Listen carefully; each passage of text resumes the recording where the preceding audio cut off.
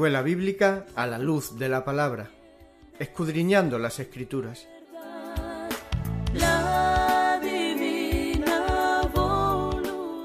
Luz a las Naciones, canal cristiano de comunicación, presenta a la luz de la palabra. Un estudio expositivo de la palabra de Dios, una presentación minuciosa de toda la escritura. Porque es inspirada por Dios y útil para enseñar, para redarguir, para corregir, para instruir en justicia, a fin de que el hombre de Dios sea perfecto, enteramente preparado para toda buena obra.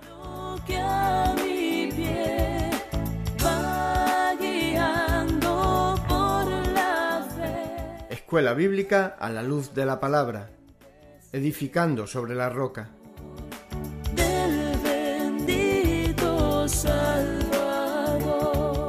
Primera carta del apóstol Pablo a Timoteo, por Juan Luis Vadillo.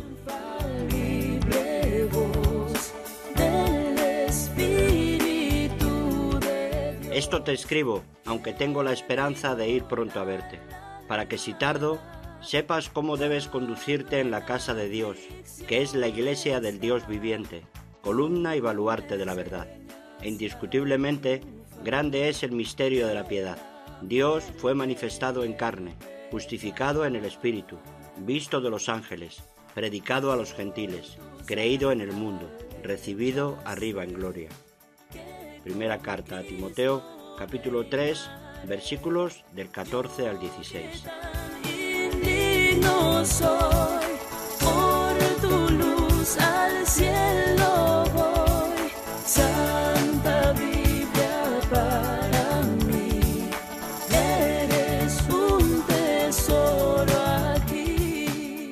Buenas tardes a todos y vamos a tratar de que nuestros corazones estén en sintonía con la palabra, ¿no? Cuanto menos que esté sensible con la palabra y que podamos tener esa mansedumbre, como nos enseña Santiago, de que podamos recibir con mansedumbre la palabra implantada al cuerpo de Salvador, nuestras almas.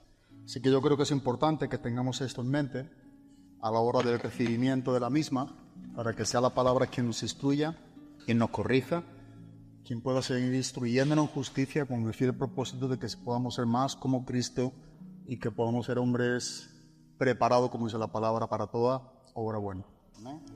Pues te damos gracias, Padre, por este tiempo que tú nos permite, este tiempo que tú nos estás brindando en esta tarde, para no solamente exponer tu palabra, sino poder oír tu palabra, donde nuestros corazones tengan el recibimiento de, de la misma con gratitud, con deseo, con ansia, con ganas, confiando plenamente que tu palabra nos transforma que tú eres un Dios todopoderoso, eres un Dios quien tiene todo el poder para hacer mucho más abundantemente de lo que pedimos o entendemos.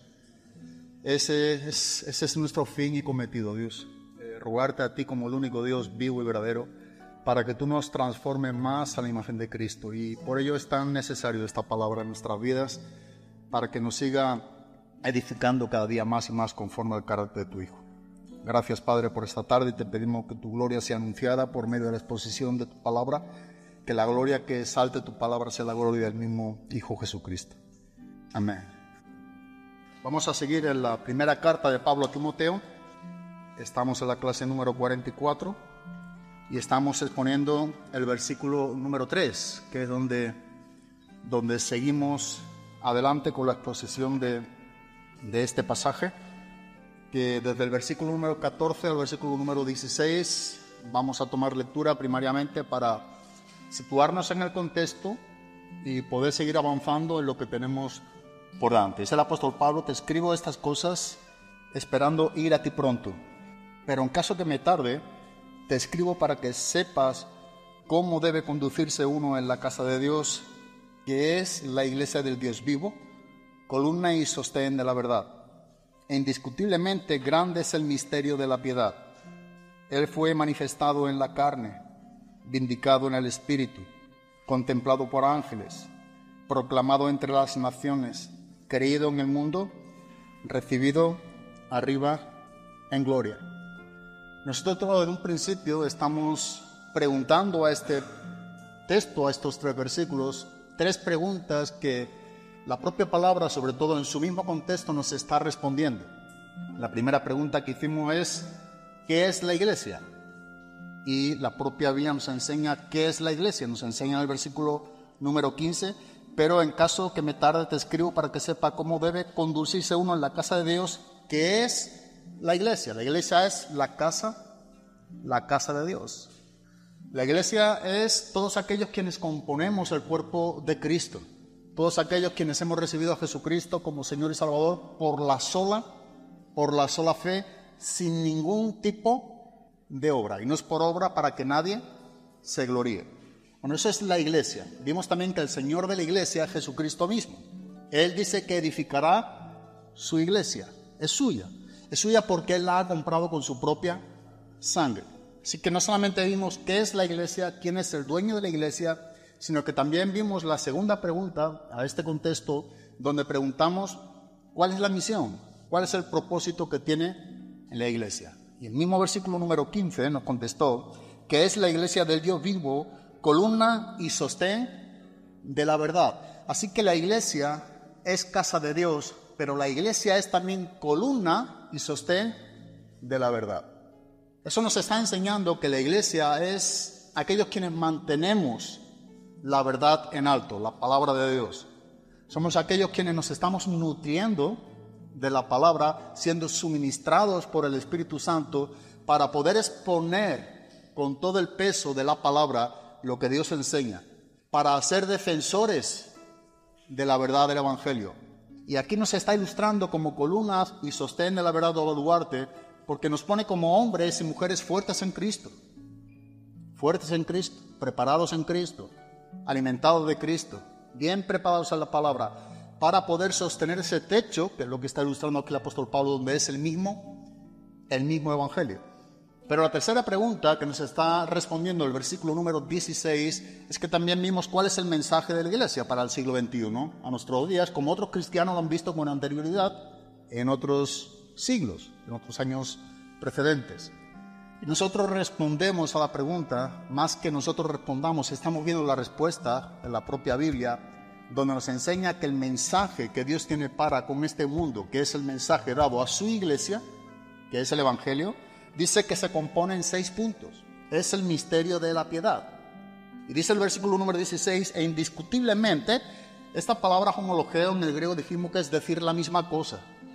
O sea, este himno, donde los cristianos lo cantaban en el primer siglo, compuesto por esos seis puntos doctrinales que está desglosado en el versículo número 16, los cristianos lo tenían muy claro. Por eso era algo indiscutible.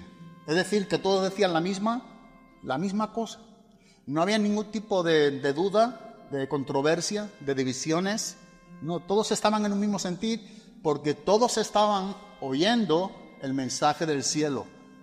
El cielo daba el mensaje, la iglesia tiene un mensaje, es el Evangelio, y ellos tenían convicción de que lo que está mostrando en estos seis puntos doctrinales era algo que tenían todos en común. Tenían claro, convincente, que este es el mensaje de la iglesia, este es el misterio de la piedad. Dice que no solamente es algo indiscutible, sino que también es algo grande, excelente. Es algo para que sea notorio a nuestra generación en la cual nosotros vivimos en nuestros días. Y empieza por seis puntos, que es lo que estamos también eh, dividiendo o desglosando uno por uno. Y el primer punto que vimos es que Él fue manifestado en la carne. Es decir, el Dios Hijo, la segunda persona de la Trinidad, el eterno Hijo de Dios, Él se encarnó y vino y habitó entre nosotros y vimos su gloria, gloria como del unigénito Hijo de Dios. Entonces lo que nos está enseñando es que Dios se encarnó, Él vino y se hizo hombre y habitó entre nosotros. Así que Él, Jesucristo mismo, fue quien se encarnó, la encarnación de Cristo. Y posiblemente ah, estuvimos hablando un poco largo y extendido, pero es una, una doctrina extensa que necesitamos tener bien claro y convincente en cada uno de nuestros corazones. Segundo punto es vindicado en el Espíritu justificado por el Espíritu, declarando lo que el Padre estaba diciendo sobre el Hijo, donde las mismas palabras repetitivamente, más de una vez, con más de una ocasión en el Nuevo Testamento, Dios mismo dice que este es mi Hijo amado en el cual tengo complacencia. Pero no solamente vemos como algo acreditando el ministerio de Cristo en la tierra, sino que también vimos el tercer punto contemplado por ángeles. Estuvimos hablando de una manera secuencial desde el nacimiento, anuncio y nacimiento de Cristo, cómo vemos la intervención de los ángeles hasta lo que tiene que ver con el final de sus días, su muerte. Orando en el Getsemaní estuvimos viendo también cómo estos ángeles, dice que ayudó, fortaleció a Cristo mismo, pero vimos también en la resurrección de Cristo la cueva, ¿verdad? Entre las mujeres, hablando bien claramente que por qué se estáis buscando al que, al que vive, por qué estáis buscando entre los muertos al que vive. Pero también vemos en el libro de los Hechos como la misma resurrección de Cristo y el anuncio también de esta resurrección ya como algo evidencial, antes de ascender a la diestra del Padre en su gloria, los mismos ángeles anuncian también estos varones en el libro de los Hechos en el capítulo número uno. Así que vimos eh, de manera separada y de manera secuencial textos donde nos está avalando lo que enseña este versículo, visto o contemplado por, por ángeles. Y ahora nos tocarían esta tarde el cuarto punto, que no sé si nos permite, el cuarto y quinto, si podemos meterlo en un mismo bloque, si no, tocaremos el cuarto y si Dios permite, el domingo el quinto. Pero ahora nos está enseñando, tocante a estos seis puntos, algo más de lo que Dios tiene para con nosotros en medio de lo que es este misterio de la piedad, el mensaje que tú y yo tenemos como la iglesia de Cristo a nuestro a nuestros días. Nos encontramos en el cuarto punto que dice proclamado entre las entre las naciones. Ahora nota lo que dijimos al principio. Está en una manera muy clara, muy explícita. Era fácil de recordar siempre y cuando se pensara en la encarnación de Cristo, porque este es el sentido que tiene este texto, este himno donde se cantaba era, fácil cuando ellos podían empezar con la encarnación de Cristo. Él fue manifestado en carne, vindicado, justificado en el Espíritu, visto, contemplado por los ángeles, predicado, anunciado entre las naciones o entre los gentiles, creído en el mundo y recibido arriba en gloria. Seis puntos que tú y yo haríamos bien, no solo en memorizarlo, que ya es bueno, sino en saber cuanto menos las bases más elementales de estas seis doctrinas. Que ellos no repetían un cántico o un himno simplemente en unas palabras que sonaran o unas palabras que unieran, sino en el espíritu la enseñanza, en lo que es la doctrina bíblica. Pero ya que estamos hablando desde la encarnación de Cristo, la justificación en el espíritu, lo que tenía que ver con, con la contemplación de los ángeles, ahora nos está enseñando ya Jesús en el ministerio tiene que ver con un anuncio, como nos enseña el cuarto punto. Tiene que ver con lo que es, dice, proclamado entre las naciones. Y nota que el cuarto y el quinto, yo voy a tratar de poderlo exponer en esta tarde, igual lo veo un poco difícil, pero vamos a intentarlo. El cuarto y el quinto punto como un bloque porque nos habla de una proclamación, donde es una predicación, donde es un anuncio del Evangelio, y donde el sexto, el quinto punto sería el recibimiento del mismo o la creencia al Evangelio, anunciado entre las naciones o proclamado a los gentiles, pero dice creído en el mundo tiene que ver una credibilidad al anuncio del Evangelio, a la proclamación del, del Evangelio.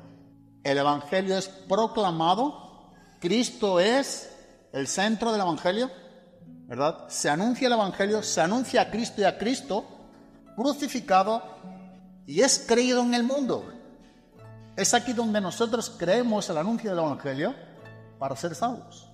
Así que este anuncio, esta proclamación, va unido con lo que es también la credibilidad o el recibimiento del mismo. Proclamado entre las naciones. Este fue el encargo que Jesucristo mismo comisionó a sus discípulos después de la resurrección. Este digamos que fue el ministerio principal que Jesús comisiona a sus discípulos para que ellos pudieran llevar a cabo esta comisión en la tierra.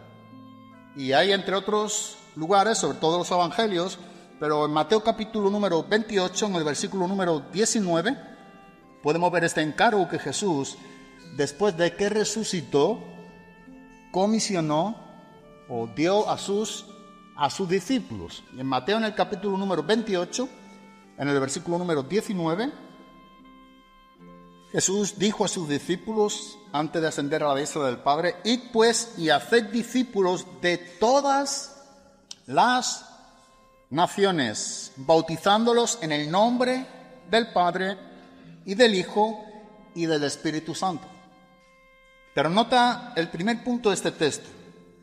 Haced discípulos de todas las naciones, proclamado entre las naciones, o lo que tiene que ver con proclamado a los, a los países, a los lugares del mundo, a cada lugar del planeta Tierra. Esta proclamación tiene que ver con la predicación del Evangelio. Y si tú y yo vemos detenidamente, no es muy difícil ver y apreciar que aquí inicia esta proclamación de una victoria de Jesucristo contra el pecado, contra por tanto la muerte.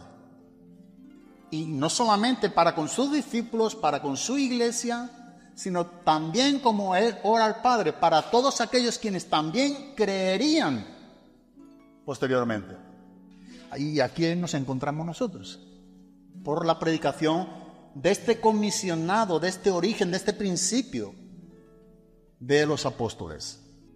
Bautizándolos, esto es lo que hicimos este domingo, en estos seis bautismos que tuvimos de cuatro mujeres, dos hombres, bautizándolos en el nombre del Padre. Lo hicimos en esta manera, como la Biblia enseña, en el nombre del Hijo y en el nombre del Espíritu Santo. Vimos la doctrina del bautismo, también pudimos ver algo detenidamente sobre esta gran doctrina del bautismo en agua. Pero aquí nos encontramos con esta diversidad tocante a lo que está anunciando en un mensaje muy extenso, centralizado en Cristo, pero a la misma vez que es un mensaje diverso, extenso, rico, en lugares, en contenido tocante a todo el Evangelio, con respecto a personas. Aquí la propia Biblia lo está unificando en este punto. Todas las naciones. Este es el origen de esta proclamación entre las naciones. Lo cual significa que no solamente creen o hemos creído nosotros aquí en España, donde, quiera que hayamos recibido a Cristo, sino que en diferentes naciones el mundo se compone de más de 200 naciones y más de 7 mil millones de personas. Actualmente hay casi 8 mil millones de personas en todo el planeta Tierra. Bueno, pues cada rincón del planeta Tierra, del mundo del cual nosotros habitamos, están habiendo personas que están creyendo la proclamación de Cristo sobre la cruz o en la cruz sobre el pecado. Esto es lo que el Evangelio está anunciando. Y esto es lo que nos está enseñando el mismo apóstol Pablo.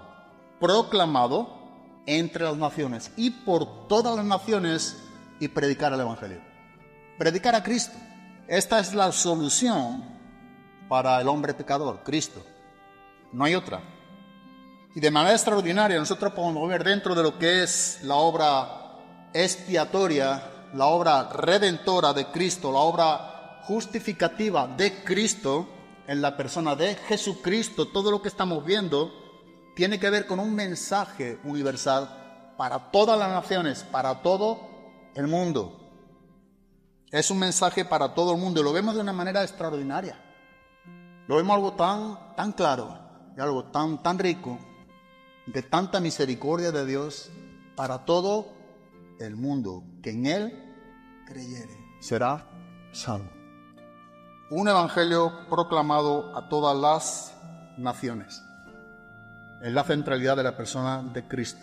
Antes de cuando Cristo ascendió a la vista del Padre, antes de la ascensión, que será el último punto doctrinal, el sexto, en el cual tocaremos, se ve algo muy importante que Jesús mismo también nos enseña también guiándolo a sus discípulos. Dice en el libro de Hechos de los Apóstoles, capítulo número 1, en el versículo número 8, estas palabras que Jesucristo dijo a sus discípulos antes de ascender a la diestra del Padre, mira de qué manera Jesús sigue insistiendo, comisionando, Jesús sigue aquí mandando a sus discípulos cómo es que ellos tienen que hacer y cuándo lo tienen que hacer.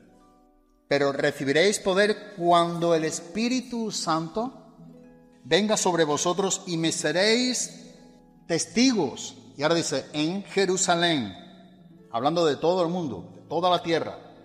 Dice, me seréis testigos en Jerusalén, en toda Judea y Samaria, y hasta los confines de la tierra.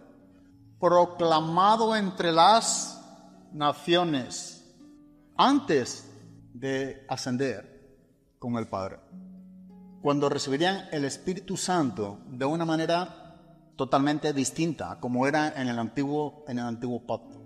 Me seréis, dice, testigos. Y aquí la palabra testigo, martureo en el griego, no tiene que ver con una persona que testifica simplemente. Aquí la palabra testigo, la palabra martureo, viene de lo que es un mártir.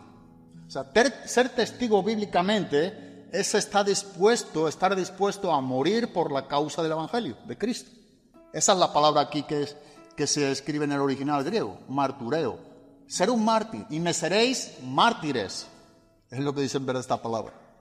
No que salimos y damos testimonio simplemente, y bueno, si le gustan bien, si no bien, pero bueno, yo ya he dado testimonio, ahora voy y sigo haciendo mis cosas, no, no.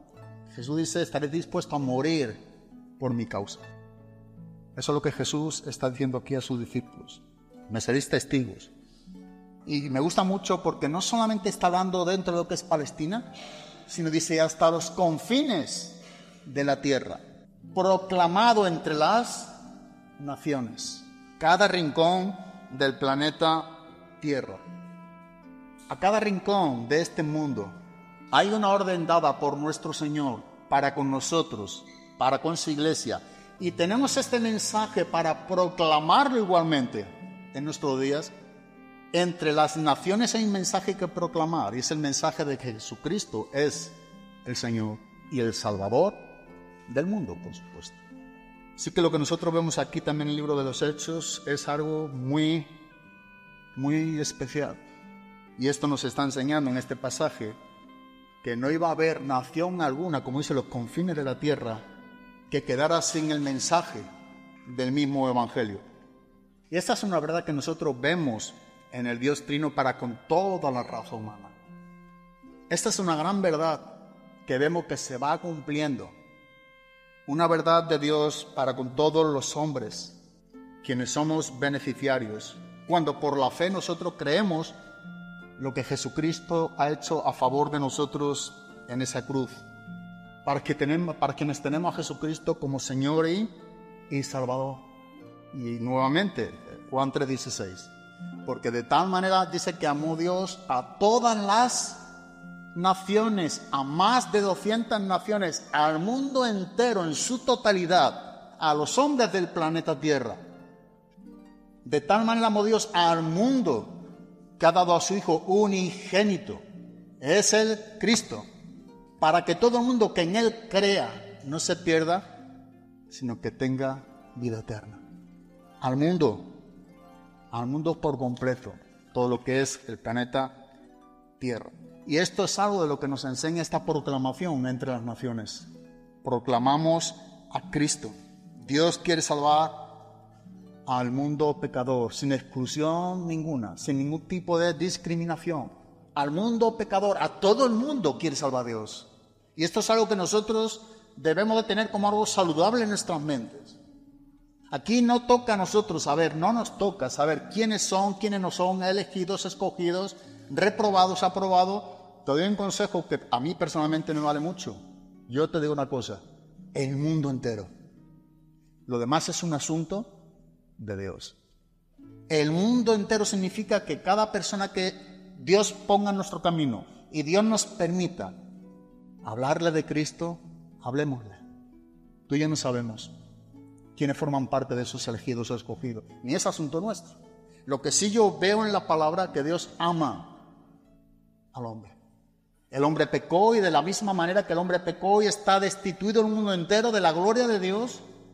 Ahora vemos en la palabra que hay un mensaje del Evangelio en el cual Dios ama al mundo. Dios entrega a su Hijo al mundo de los hombres para que todo el mundo que crea en Él, en Jesucristo, sea salvo. Y nosotros creo que es bueno que tengamos esto bien claro en mente. Predicar a cada hombre que Dios nos permita, predicarle, sin ningún tipo de exclusión. al mundo entero. Y una de las cosas leyendo el Evangelio de Juan, Juan capítulo 4, en el versículo número 42, es un texto que nos está hablando de aquellos samaritanos que habían creído el mensaje de la mujer samaritana con respecto a lo que está hablando con Jesucristo. Uno puede ver que lo que tales samaritanos dijeron a la mujer samaritana es algo que impacta cuando nosotros lo leemos teniendo en mente la proclamación todas las naciones o entre todas las naciones o el mundo. Mira lo que ese tales samaritanos. Ya no creemos por lo que tú has dicho, hablándole a la mujer samaritana, porque nosotros mismos hemos creído o hemos oído y sabemos que este, hablándonos de Cristo, es en verdad el Salvador del mundo. Ahora no creemos solamente por lo que tú nos dices, mujer, está bien. Gracias a Dios por lo que nos ha dicho sino que ahora estamos creyendo realmente, ahora de manera personal. Nosotros estamos creyendo en aquel quien tú nos has anunciado también, pero ahora sabemos que Él es el Salvador del mundo. Y, nosotros sin meternos mucho en el problema que había aquí en este tiempo, en este pasaje específicamente, en el contexto histórico, sabemos bien que judíos y samaritanos no se llevaban bien entre sí. Así que no solamente tales samaritanos están diciendo, nosotros sabemos en verdad, el, digamos que el contexto más próximo tenía que ver con judíos y samaritanos. O sea, Él es el Salvador del mundo, lo que tales samaritanos estaban diciendo en su contexto, está diciendo, sabemos que no solamente viene a salvar a los judíos, sino también a nosotros que no somos judíos y somos samaritanos. Y en el contexto más amplio y totalitario que se le llama, en su contexto más amplio, tiene que ver con el mundo entero. Como quiere que sean ambos contextos, nos está enseñando que Jesucristo es el Salvador de todos los hombres. Y eso es lo que somos llamados también nosotros a proclamar en nuestros días en el mundo en el cual vivimos. He tenido el privilegio en estar en diferentes lugares en el campo misionero y si ha habido algo que he hecho en, común en cada lugar o cada país donde he estado es que es proclamar o he proclamado a Cristo y a Cristo crucificado. Y sin importar el lugar, todos los hombres tenían el mismo problema que también yo tuve en su día. Y es el pecado. Es curioso, en cada lugar del mundo, en cada sitio, da igual la distancia, da igual los lugares, el mundo entero necesita a Cristo. Y es ese mismo mensaje que se predica en un país en el cual se predica en otro país, se predica en otro país, entre todas las naciones. El Evangelio de Cristo ha de ser anunciado con el mismo ímpetu, con el mismo celo y con el mismo protagonista Señor, que es Jesucristo. Y uno cuando mira también, o cuando mira en la primera carta de Juan, en, el capítulo 4, en el versículo número 14, donde Juan nos está hablando o está dando, digamos, un sobresaliente a uno de los atributos de Dios, que es que Dios es amor. Dice en el versículo número 14, hablándonos aquí el apóstol Juan en su contexto sobre este atributo, versículo 14 dice, y nosotros hemos visto y damos testimonio de que el Padre envió al Hijo con qué fin, con qué propósito y literalmente el mismo apóstol Juan dice, para ser el Salvador del mundo, de todas las naciones, de todo el planeta Tierra. Ahora, recordamos que los primeros versículos, esta es una carta que hemos expuesto positivamente también aquí, la primera carta de Juan, como la segunda y la tercera, pero la primera carta de Juan, los primeros versículos en su contexto, el inicio, tenía que ver con estos testigos oculares y él como apóstol había presenciado, había vivido junto a Jesús. Había estado caminando junto a Jesús en el ministerio de Cristo durante tres años. Así que por eso es que Juan mismo dice, y damos, y nosotros hemos, aquellos testigos oculares, siendo él uno de ellos, él estaba dando testimonio cuando dice, y nosotros hemos visto y damos testimonio de que el Padre envió al Hijo con un fin y un cometido para ser el salvador del, del mundo entero. Para ser el salvador del mundo. No un mundo limitado, o fraccionado. Dice el mundo entero en su totalidad. Dentro del mundo de todos aquellos, sin lugar a duda, de los que creen en Cristo. Pero ya Juan había dicho antes con anterioridad, en esta misma carta, en el capítulo 2, en la primera carta de Juan, en el capítulo número 2, en los versículos número 1 y número 2, ya Juan había dicho con anterioridad otro punto importante del cual estamos nosotros exponiendo aquí en esta tarde. Dice, el mismo es la propiciación por nuestros pecados. Y no solo por nuestros o por los nuestros, sino también por los del mundo. Y me gusta mucho esto, entero. Por los del mundo entero. Y aunque aquí la palabra mundo en el griego, que es la palabra cosmos, tiene que ver con lo que es el globo terráqueo, también está hablando, y es lo que hace énfasis, porque los árboles no se salvan. Está hablando de los hombres quienes habitan el planeta Tierra, el mundo entero. No solo es la propiciación por nuestros pecados, por nosotros, por la iglesia, sino por lo del mundo entero. Así que el Evangelio tiene que seguir siendo proclamado porque solamente hay una manera de que el pecador se salve. Y es a través del anuncio de Cristo en el, en el Evangelio, donde tú y yo somos llamados a ser esos proclamadores de la verdad, donde quiera que nos encontremos. Si hay algo que tenemos que tener todos en común, un mismo fin, un mismo propósito, donde Dios nos lleve, es una cosa por encima de todas las demás, es predicar a Cristo porque en todo el mundo hay hombres pecadores y solamente pueden ser salvos por el mismo evangelio que te ha salvado a ti y a mí. No hay otra, o sea, no hay otra solución para los estadounidenses o para los panameños o para los indios, no, para el mundo entero. El mundo entero no puede ser salvo si no es por medio de un único Salvador, un único mediador entre Dios y los hombres, y es Jesucristo hombre, porque hay un solo Dios, dice en 1 Timoteo 2.5, y hay un solo entre Dios y los hombres, ¿quién es? Jesucristo, hombre. Un solo Dios y un solo mediador.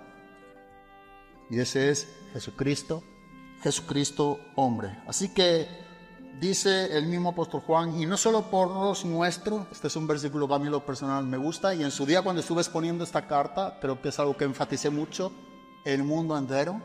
Ha escogido ahora que vemos que lo somos, respondiendo a Cristo. Pero también nos está hablando de aquellos quienes aún no lo han sido, como también a nuestros días tampoco lo éramos nosotros. Y había otros precedentes hermanos que sí que lo eran. Así que nosotros tenemos el mismo cometido, la misma finalidad. Es proclamar a Cristo entre los pecadores en el mundo, porque Cristo no solamente es la propiciación por nuestros pecados, sino también por los del mundo entero. Y, aún el mismo apóstol Pablo, cuando está escribiendo aquí esta carta también a Timoteo, creo que es en el, en el versículo número 15 del capítulo número 1, cuando dice, palabra fiel y digna de ser recibida por todos. Es una palabra fiel y digna de ser recibida por todo, que Cristo Jesús vino al mundo para salvar a los pecadores pero Pablo dice de los cuales yo soy el número uno. El número uno. Nunca Pablo se olvidó. Como tampoco nosotros hemos de olvidarnos de esta dádiva que Dios ha tenido con nosotros. De esta gracia en común que tenemos los cristianos. Pero aun cuando escribe a los cristianos en Roma, en el versículo número 6 habla de una obediencia. Habla de una fe que ha de ser obedecida. Cuando Pablo escribe a los cristianos que están en Roma, en el capítulo número 1, en el versículo número 6, me gusta más como lo dice la Reina Valera del 60, pero dice, por medio de quien hemos recibido la gracia y el apostolado para promover la obediencia a la fe, y me gusta este punto, entre todos los gentiles. La Reina Valera del 60 dice, entre todas las naciones, proclamado entre las naciones sin límite alguno entre nosotros. Todas los confines de la tierra, todas las naciones. Pablo tiene esto en mente, escribiendo aquí a los cristianos en Roma. Hemos recibido la gracia, el apostolado, para promover la obediencia a la fe entre todos los gentiles, por amor a su nombre. Es por amor que nosotros predicamos el Evangelio. No hay un sueldo del cual nos paguen para predicar a Cristo. Esto es un punto muy importante en nuestra vida cristiana, tener esto bien entendido y como algo inamovible. Es por amor, es por obediencia del mandato que Dios nos ha dado. Y aquí Pablo deja bien claro contundente, por amor a su nombre. Es que tú y yo promovemos, como dice el mismo apóstol Pablo, la obediencia a la fe entre todas las naciones o entre todos los, los gentiles. Este es el mismo evangelio. Esta proclamación entre todas las naciones es el mismo evangelio en todo lugar. No hay, como hemos dicho, una segunda verdad o hay un segundo evangelio, o hay otras palabras, eso significaría que hay otro Salvador o hay otro medio. No, hay uno solamente. Él es el único.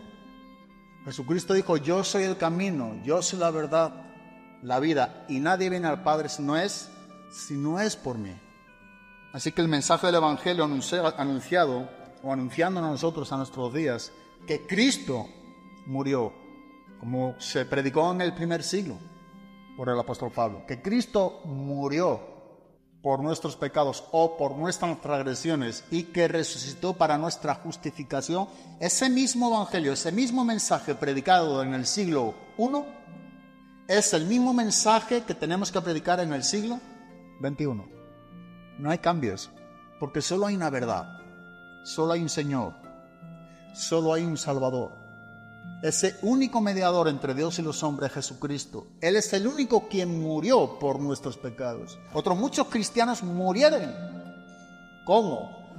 Hombres cristianos que habían sido liberados de sus pecados, que murieron como mártires, que murieron predicando el Evangelio, pero quien murió por nuestros pecados, solamente hay uno solo, y ese es Jesucristo. Nadie más pudo haber muerto por nuestros pecados porque no hay un segundo mediador entre Dios y los hombres. Hay uno solo y es Jesucristo, el Hijo de Dios. Así que es lo mismo. El mismo mensaje tenemos aquí en las escrituras del siglo I, como el mismo que tenemos que seguir anunciando en los confines de la tierra, ahora a nuestros días, en nuestra generación, en el siglo, en el siglo XXI. Este es el Evangelio, este es el mensaje que vemos y aun cuando este es un mensaje que está ratificado, lo que es bajo el nuevo pacto, cuando Cristo derrama su sangre, ¿verdad? Esa confirmación, esa, esa, esa, esa verdad de lo que Cristo hizo, esa, ese avalamiento, aun cuando esa es una gran verdad que nosotros vemos a partir de lo que Cristo hizo, el nuevo pacto, también nosotros podemos ver y visualizar a lo largo de las escrituras que tampoco era algo solamente anunciado en ese nuevo pacto nosotros podemos ver que el mensaje de la cruz o de un Salvador o de una iglesia que iba a surgir no es algo que nosotros encontramos. Eh, digamos que la eficacia, el cumplimiento de lo que los profetas anunciaron en el Antiguo Testamento, lo encontramos en la ratificación de lo que es el nuevo pacto, en su sangre. Pero esto no nos está eximiendo de que ya había un anuncio con anterioridad de todo lo que nosotros estamos viviendo ahora en Cristo. Cristo es el cumplimiento de, todos aquellos tipos o sombras y modelos que se anunciaron en el antiguo pacto.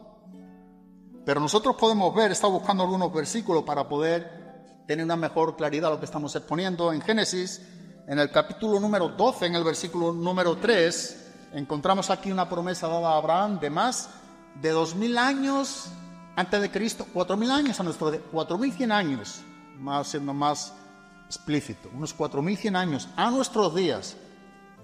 Este no es un mensaje solo visto en el nuevo pacto como algo de lo que iba a acontecer o ya siendo o habiendo sido acontecido por medio de Cristo, sino que nosotros vemos en Génesis capítulo número 12, en el versículo número 3, dice, bendeciré a los que te bendigan y al que te maldiga maldeciré, y en ti serán benditas todas las familias de la tierra. La proclamación entre todas las naciones no es algo que solamente surge en el nuevo pacto. O sea, es decir, que esta profecía, este anticipo de lo que iba a acontecer, ya dos mil años antes de Cristo aproximadamente, nosotros podemos ver como aquí Dios está dando una promesa a Abraham que no solamente tiene que ver con una tierra como es Israel, o una promesa de una bendición de un hijo que Dios le iba a dar a Abraham, nacido de Sara su esposa, siendo estéril, o sea que Dios iba a intervenir milagrosamente, sino que es por medio también de Isaac quien viene Cristo siendo descendiente de la tribu de Judá. Esto es lo que nos está mostrando Génesis capítulo número 12 en el versículo número 3. Esto es lo que nos enseña esta temprana promesa.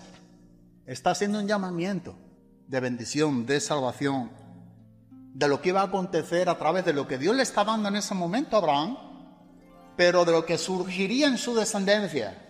Abraham, Isaac, Jacob y los hijos de Jacob, siendo su nombre cambiado Israel, cada uno de los hijos de las doce tribus, hay una tribu de la, de la cual es Judá, y de ahí viene la descendencia de Cristo a todas las naciones. ¿Y cómo iba a ser bendecida todas las naciones? Por medio de la simiente de Abraham, es decir, por medio del, del principio de Abraham, dando Dios esta promesa a Abraham, pero del cual vendría también Cristo. Y esta es la bendición, esta es la simiente que ha bendecido al mundo, Cristo. Pero me gusta también como aquí nos enseña en Génesis, todas las también enfatiza este mismo punto, o todas las familias de la tierra, que es todas las, todas las naciones. Y esto es algo que nosotros vemos, que solamente pudo haberlo hecho un Dios, una promesa que solamente pudo haberlo cumplido un Dios, quien tuvo que haber sido y es, no solamente soberano, porque Él hace lo que Él quiere, sino Él tiene que ser a la misma vez también el Todopoderoso, para poder cumplir lo que Dios promete, Él tiene que tener todo el poder para que no haya nada ni nadie, como dice en el libro de Daniel, quien se interponga ante Dios o frene su brazo, su mano y pueda preguntarle a Dios, ¿qué haces? Nadie puede detener el brazo de Dios porque Él es el único soberano, el único omnipotente. Y Dios promete y Dios cumple porque Dios está llevando a cabo ese orquestamiento de su soberanía en la historia de la humanidad. Dios está orquestando desde el principio hasta el fin. Nada ni nadie puede estorbar, puede impedir de llevar a cabo lo que Dios se ha propuesto en cumplir. Sí que Dios lo hace de una manera, digamos, pródiga, que es derrochando su gracia, su misericordia. Él lo hace en esta manera abundantemente rica para con los hombres una manera generosa, dadivosa, que es lo que significa pródigo, pródiga. Esta soberanía que Dios lleva a cabo, sin, sin, que nadie interrumpa lo que Dios ha propuesto, es lo que realmente está bendiciendo a todas las naciones.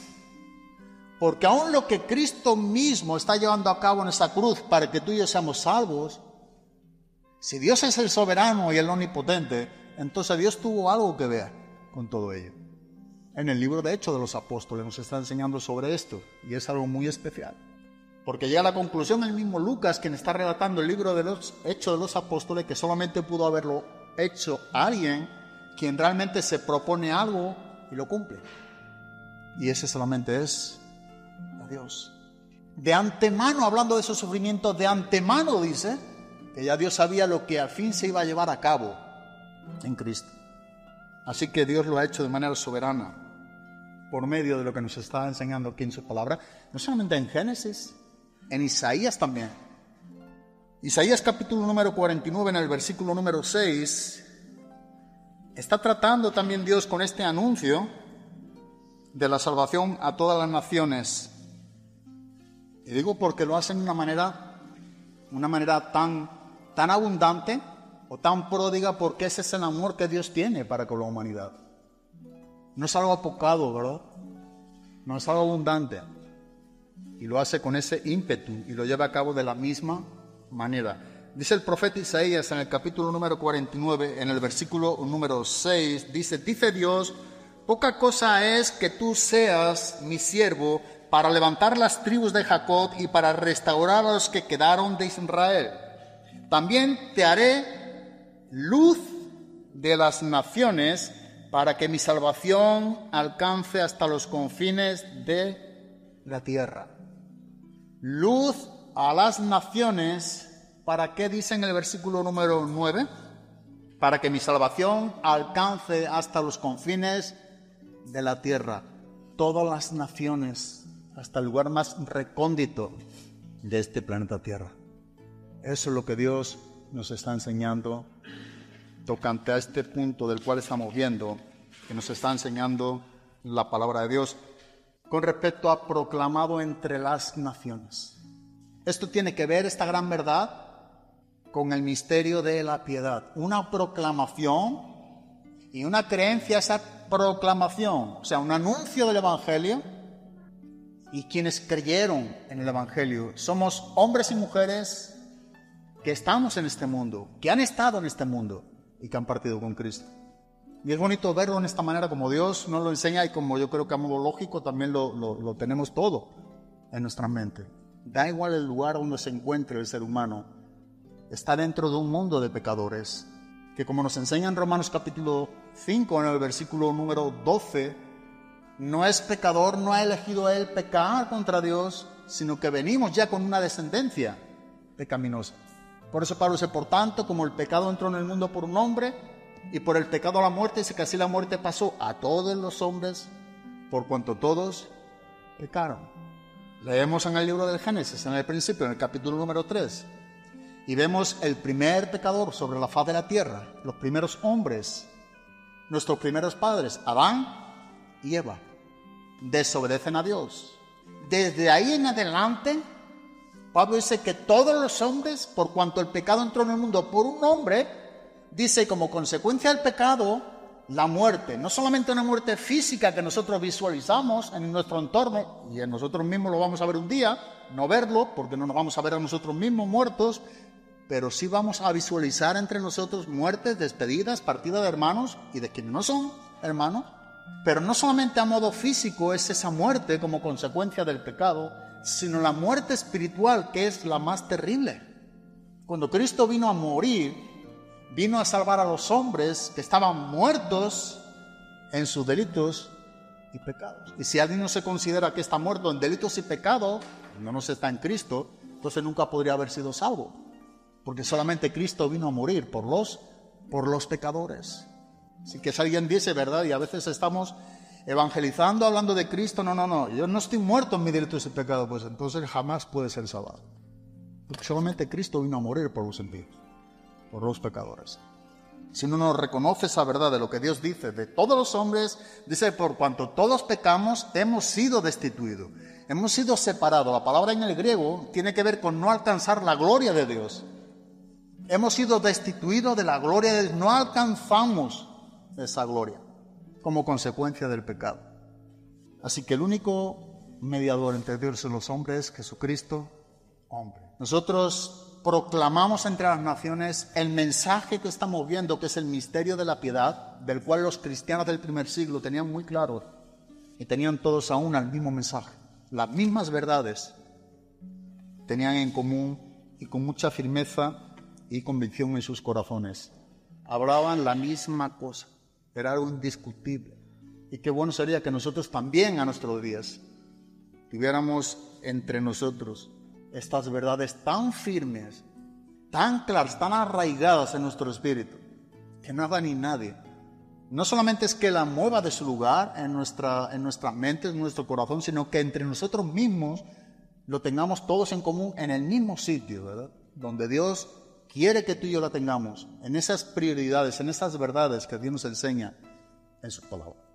No vamos a seguir porque no nos va a dar tiempo para meternos en el siguiente punto, que es creído en el mundo, pero si Dios permite lo tocaremos el domingo. Así que damos gracias a Dios por lo que Dios nos enseña en su palabra, por lo que también nos está enseñando por medio de lo que estamos exponiendo. Y, es algo que tenemos que tener, yo creo que, que el anhelo, no el celo de ser estos hombres tan privilegiados. Cuando digo hombre hablamos de hombres y mujeres. Tenemos un privilegio tan grande los cristianos que donde quiera que tú y yo vayamos, sin, importar el lugar de este planeta Tierra, tenemos un mismo mensaje para todo el mundo, para todas las naciones. Es que Cristo murió por nuestros pecados o por nuestras agresiones y resucitó para nuestra justificación. Amén.